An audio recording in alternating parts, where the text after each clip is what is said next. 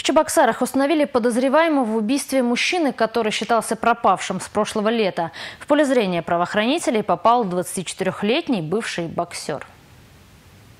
По версии следствия, вечером 14 июня прошлого года обвиняемый находился с потерпевшим в кафе на восточном поселке в городе Чебоксары, где они употребляли спиртное, после чего направились к дачному домику своего знакомого. По дороге между молодым человеком и потерпевшим произошла ссора, в ходе которой первый нанес второму несколько ударов кулаками в область головы, от чего тот потерял сознание. Тогда злоумышленник донес потерпевшего до своей квартиры, там последний пришел в себя. В ответ на его претензии относительно случившегося случившегося обвиняемый вновь нанес ему серию ударов по различным частям тела, после чего тот перестал подавать признаки жизни.